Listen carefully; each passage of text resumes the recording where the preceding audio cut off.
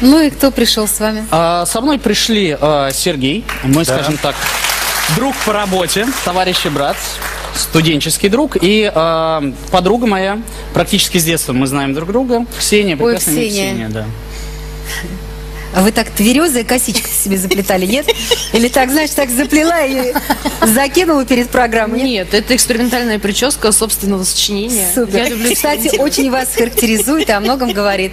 Мне нравится. Давайте посмотрим на экран.